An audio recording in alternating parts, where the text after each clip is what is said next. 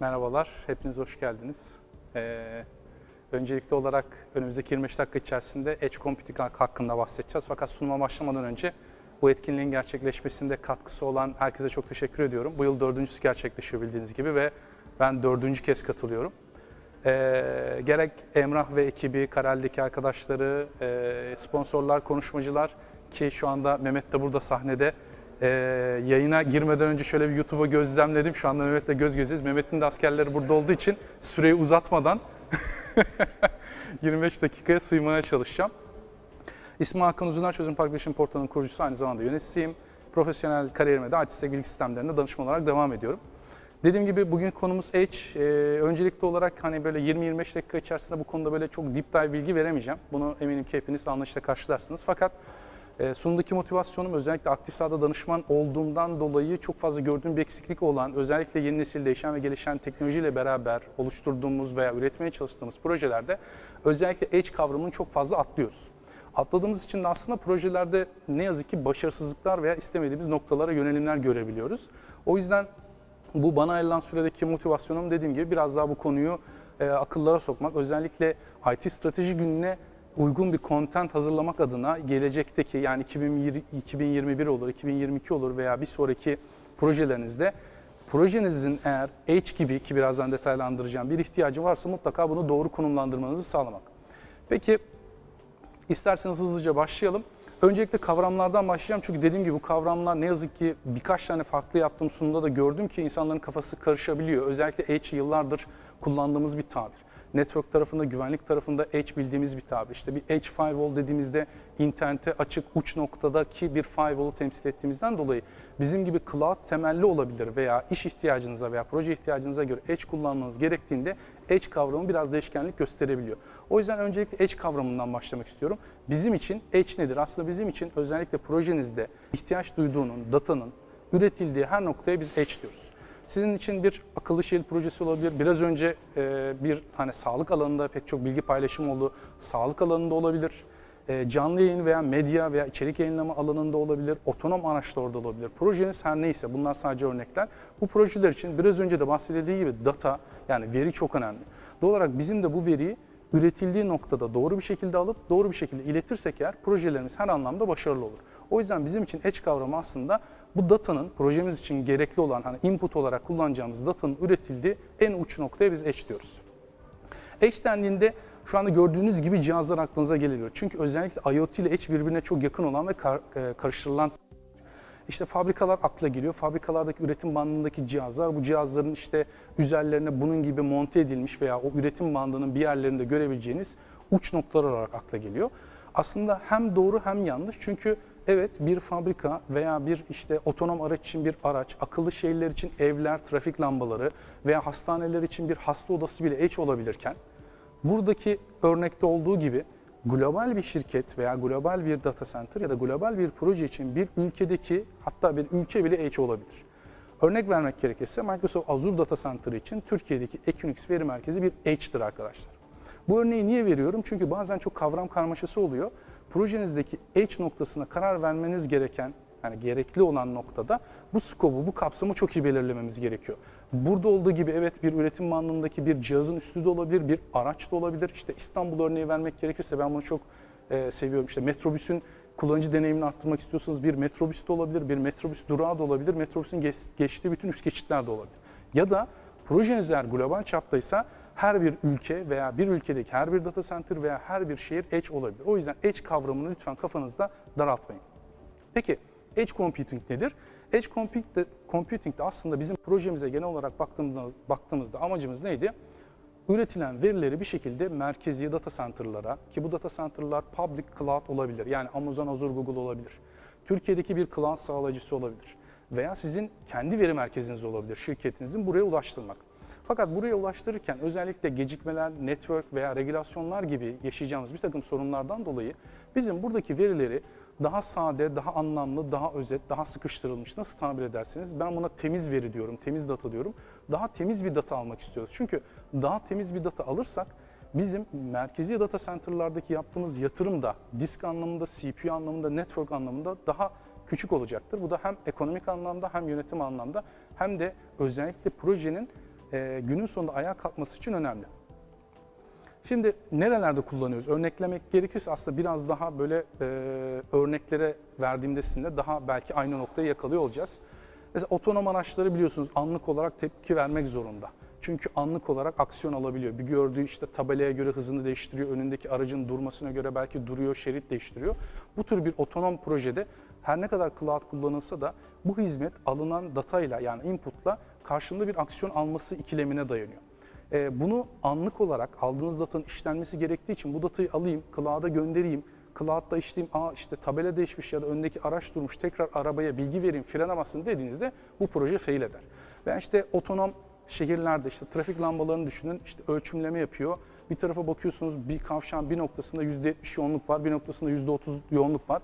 Aynı şekilde bu datayı alayım, işte cloud'a aktarayım ki bu cloud her zaman söylüyorum illa ki public cloud olmak zorunda değil. Daha sonra bunu işleyeyim ve sonuca döneyim. Yani anlık hizmet gerektiren bir proje ise zaten edge'siz bir cloud projesi yapmanız mümkün değil. Yani o verinin aslında edge dediğimiz uç noktada yani verinin üretildiği nedir biraz önceki örnekte arabada işlenmesi, sadeleştirilmesi ve an, aslında anlık karar verilmesi gerekiyor. İşte bunun için bunun için yaptığımız işlemleri biz edge computing diyor. Yani verinin oluşturduğu noktada yaptığımız CPU, RAM, network eğer bir disk ihtiyacı varsa yani çok fazla veri alınıyorsa ve bunu RAM yerine diskte tutup işlemeniz gerekiyorsa diski de bunun içine katıp yaptığımız bu toplam işleme edge computing diyoruz. Peki sektörlere otonom dedik, e, canlı yayın dedik. Özellikle pandemide mesela Netflix hani hepimizin bildiği bir marka artık. Bunun gibi yerel pek çok servis sağlayıcılar da var.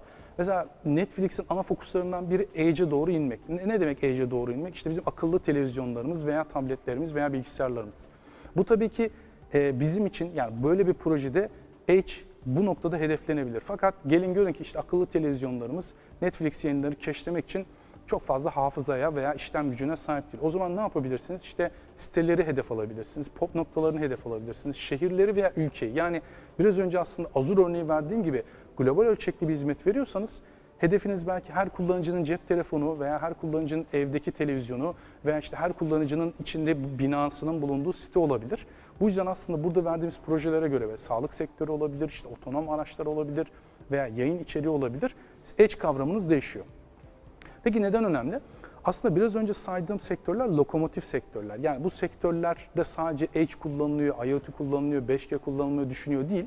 Bunlar aslında pek çok biraz öncedeki sunum aslında beni çok destekleyici bir sunum oldu. Sağlık sektörü başta olmak üzere özellikle yeni nesil teknolojileri lead eden, kullanan ve kullandıkça fayda maliyet analizi çok rahat yapabilen sektörler. Böyle olunca ne oluyor arkadaşlar? Teknolojiyi daha yakından takip ediyorlar. Bu lokomotif sektörlerin dışında kalan sektörlerde edge yok mu? Tabii ki var. Ama özellikle bu sektörlerde katma değerini daha iyi görüyoruz. İşte örneklerle devam edecek olursak bir marketi düşünün. İşte markete gittiniz, alışveriş yapıyorsunuz. Peynir aldınız, zeytin aldınız. İşte yapay zekanın ne yapmasını bekliyorsunuz? Tabii ki bu sizin kurallarınıza göre. İşte bu kahvaltı yapacak, hadi domateste indirim verelim. Şimdi geleneksel büyük, orta büyüklükteki bir süpermarketi düşünürseniz bunun çok hızlı olması gerekiyor. Aksi halde kasada ne olur arkadaşlar? Ciddi kuyruklar olur. Zaten bunu yapmayan pek çok e, süpermarkette veya büyük marketlerde bile kasaların yavaş çalıştığını düşünürseniz böyle bir projede sizin için H'de hesaplama yapmanız çok önemli. Yani bir takım verileri anlık alıp hesaplayıp o anda hizmete dönüştürmesi, o verileri alıp cloud'a çıkarıp bir takım hesaplamalar yapıp döndürmesindense çok daha efektiftir. O yüzden özellikle Edge Computing'e baktığımız zaman üç temel bize yararı var. Şöyle özetlersek. Bir kere yüksek band genişliği isteyen projelerde bu band genişliğini Edge'de işte e, arabalarda düşünebilirsiniz. Biraz önce metrobüs örneği verdik. Metrobüs, metrobüste düşünebilirsiniz. Evinizdeki televizyonlarda veya cep telefonlarınızda her zaman bu geniş band interneti veya geniş band network'ü bulamayabilirsiniz. Böyle bir ihtiyaç için o yoğun olarak almanız gereken datayı sadeleştirip daha düşük bir network trafiği ile merkezi data center'lara gönderebilirsiniz. Bir diğer nokta yine verdiğim örnek işte süpermarket veya arabalarda olduğu gibi bu sağlık sektöründe de olur. Gecikme süresi çok önemlidir. Yani bir hizmet sunmaya çalışıyorsunuz. İşte bu trafik ışıkları örneği verdik, otonom araçlar örneği verdik. Bu tür hizmetlerde topladığınız dataların H'te yani toplandığı yerde hızlı bir şekilde hesaplanıp hizmete dönüşmesi gerekiyor. Bu da gecikmeleri önlüyor. Öyle ki yaptığımız projelerde ki biraz önce verdiğim süpermarket aslında bayağı büyük bir market projesiydi. Proje yaparken fazlandırdık. Çünkü projenin biz bir kısmını public cloud'a koyduk, bir kısmını yerel bir veri merkezine koyduk ve bunun tek nedeni latency'ydi.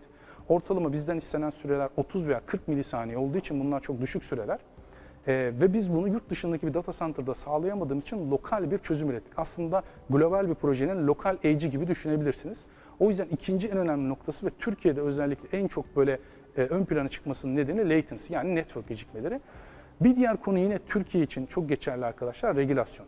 Yine büyük e-ticaret şirketlerine bakacak olursanız çok yoğun bir şekilde özellikle pandemi veya işte e, böyle Black Friday gibi dönemlerde beklenenin 10 katı 20 katı network trafikleri alabiliyorlar. Böyle durumlarda tabii ki esnek bir altyapıya sahip olmak istiyorlar ve bildiğiniz gibi esnek altyapı dediğimiz bugün en çok işte cloud platformlarında bulunuyor. E, fayda maliyet olarak cloud'ı tercih ediyorlar ama ne oluyor? Regülasyon diyor ki dur kardeşim işte KVKK var veya Avrupa için bakarsak GDPR var. Sen istediğin gibi Türkiye'deki vatandaşların datasını işte cloud'a çıkaramazsın dediği anda yine Edge yardıma koşuyor. Datayı Edge lokasyonunda tutup application serverları globale alıp frontend dediğimiz hani ilk topu göğsüne alan, yumuşatan ya da ilk servisi karşılayan servislerin cloud'da olup aslında müşteri datalarının yine Türkiye lokasyonunda olmasını sağlayabiliyorsunuz. Bu üç temel faydadan dolayı arkadaşlar Edge çok e, e, projelerin başarılı olması için çok önemli bir madde.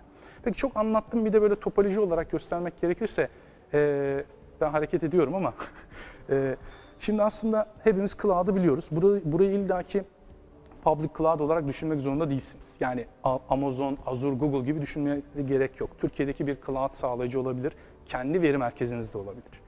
Burada bizim bir cloud mekanizmamız var. İşte merkezi sunucularımız, işte hesaplama yapan pek çok altyapımız var. Middleware katman olarak isimlendiriyor bazıları. Edge dediğimiz lokasyon var. Bir de bizim sensörler yani aslında verileri üreten son noktalar var. Aslında Edge ile sensörler çoğunlukla aynı noktada oluyor. İşte IoT ve Edge'in bu yüzden e, çok karıştırılıyor. Burada bakın bir akıllı şehir projesi düşünüyorsak trafik lambalarından veya ortamın ısısıyla alakalı aldığınız bir sensör veya işte bir üretim bandını düşünüyorsak işte bu üretim bandındaki robotlardan aldığınız en alttaki sensörlerden aldığınız datayı Edge'de aslında bir store ediyoruz, bekletiyoruz, işliyoruz. Yani bu katmanı hiç düşünmeyen projeler oluyor.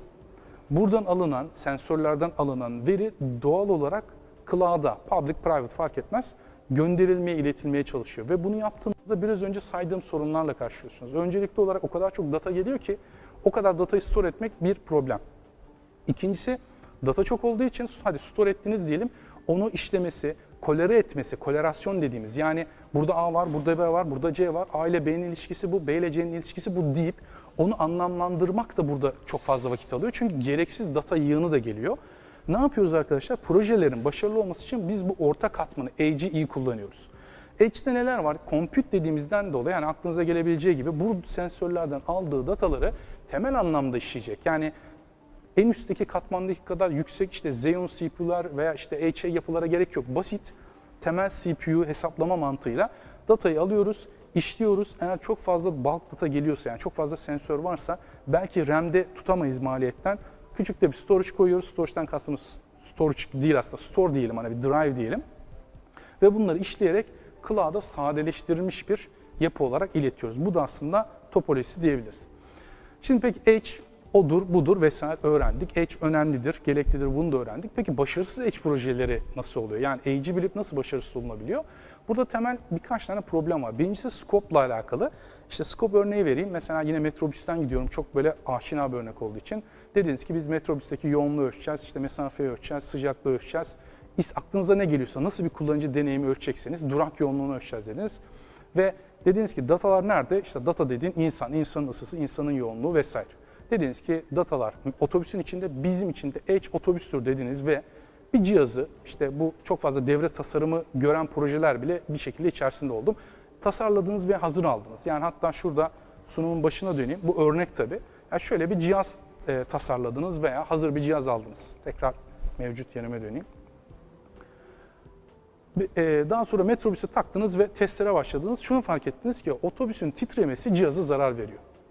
Birden ne oldu aslında? Eğer POS yapmadıysanız, eğer çok adetli aldıysanız veya düzgün test yapmadıysanız aslında hem proje kayıp hem de maddi bir kayıp var.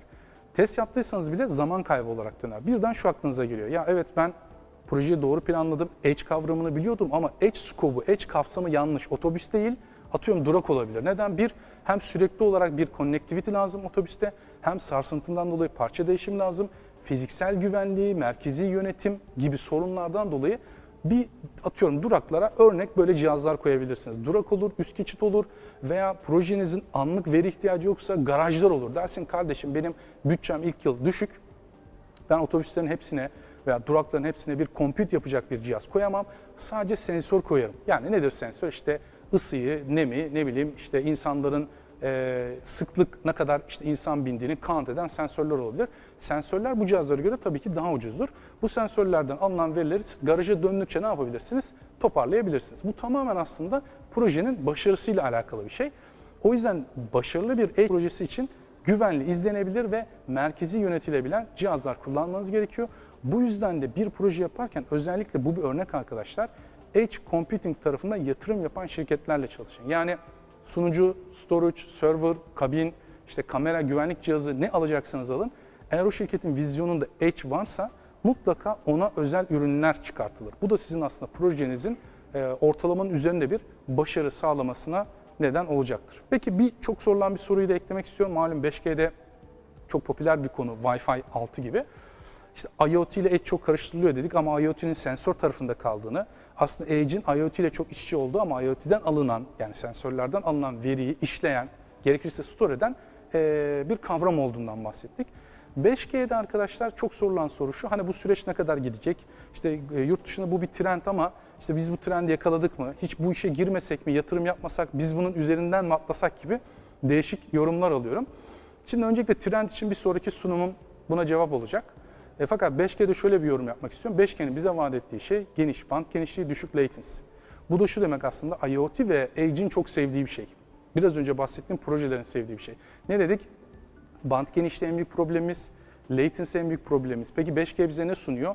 Daha geniş band genişlikleri ve daha düşük latency'ler. O yüzden aslında bu sorunun cevabı çok basit. 5G yaygınlaştıkça daha fazla IoT ve Edge projesi göreceğiz. Peki son olarak bu süreci özetleyen benim de çok sevdiğim bir e, grafik var. E, tabii yaşı benden küçük veya büyük olanlar olabilir şu anda bizi izleyenlerin arasında ama benim yaşımın yettiği nokta burada e, 95 ve işte günümüze kadarki kısım. E, 1970'lerde arkadaşlar mainframe dediğimiz yapılar vardı. Aslında bunu eskiler hep hatırlar işte merkezi sistemler, merkezi sunucular derdik. E, ve bize hep bunu mainframe olarak isimlendirdiğimiz için mainframe dediğimde daha anlaşılırdı. Bu dönem arkadaşlar e, sistemlerin merkezi olduğu, client yani dağıtık mimarinin çok tercih edilmediği yıllardı. Sonra neyi gördük? 1980'lerde, 90'larda özellikle işte her evde bilgisayar, her masa üstünde bilgisayar mantığıyla tabii laptop gibi düşünmeyin o zaman. Client tarafı yani e, merkezi değil dağıtık bir yapıya geçildik ve bunlar ortalama 10-15 yıldır sürdü. Tabii ki ülkemiz biraz hani anlattığım teknolojilere göre gap yani boşluk içeren bir ülke. Yani buradaki yıllara göre mesela şunu söyleyeyim. 2010 yılında cloud başladı. Bundan 10 yıl önce biz hala cloud anlatıyoruz. E, 2000'li yılların başında ben sanallaştırma anlatıyorum. Yani yıl bakın 2000 biz e, sunucu sanallaştırma anlatıyorduk. O zaman insanlar bana şey diyordu. Abi sunucu dediğin şey fiziksel olur, sanal olmaz. Şimdi sanallaştırma yapmayan insanları e, hani neredeyse dövüyorlar diyebilirim. O kadar e, endüstri standartı bir teknoloji oldu. Yani sanallaştırma, uygulama sanallaştırma olsun, sunucu sanallaştırma olsun, endüstri standartı bir teknoloji. Ama ben bunu 2000'li yıllarda anlatıyordum eğitmen olarak.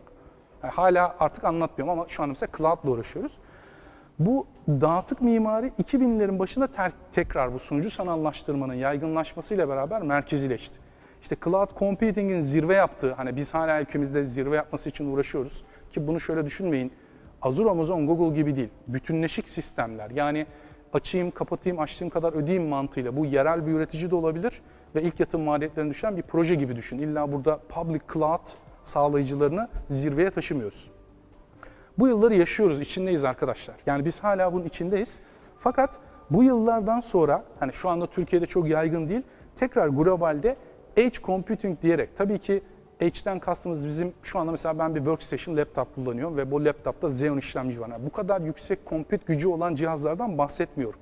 Ama şu anda bu trend tekrar uca yayılma noktasında. Yani arabalara, evlere, e, trafik lambalarına, aklınıza alabilecek işte belki bu kameralara, cep telefonlarımıza her yere yayılmaya başlıyor ve her yerde hesaplama yap, yapmaya başlıyor.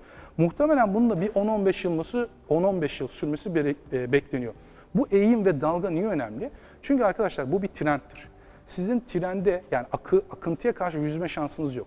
E, 2010 2019 veya 2018 yanılmıyorsam Ignite'e gittim. Amerika'da 20 bin kişinin katıldığı bir etkinlikti. E İşte hep cloud cloud diyoruz ya çıktım bir dolaşayım dedim üreticileri. 73 veya 75 tane üreticinin standı vardı.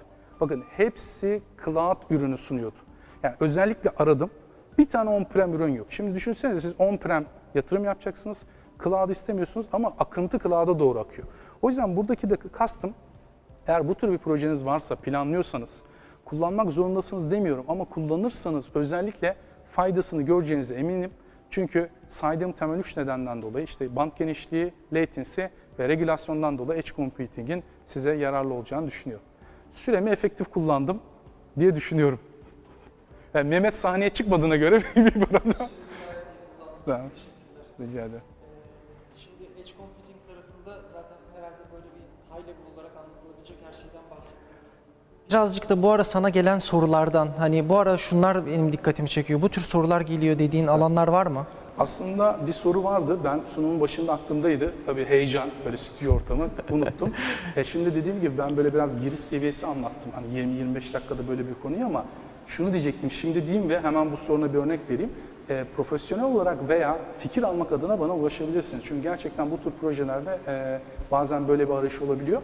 Bir de şöyle bir soru sormuştu. Bu konuda bir kaynak üretmeye deniyorum. Edge Computing tarafında güvenlik. Şimdi Mehmet de burada olduğu için hani biraz biraz Bağlarız önceki ben hemen. sunumu aldım cebime, heybeme attım. Ben buradan Mehmet'e topu atıyorum. Çok iyi. Soru çok güzeldi. Tabii bu kadar kısa sürede yetiştiremem ama şunun sözünü veririm. Soru aslında şu. Edge Computing tarafında güvenlik. Yani e, e, Mehmet hatırlayacaktır. Özellikle bu IoT cihazlarından çok ciddi bir saldırı almıştık geçtiğimiz yıllarda.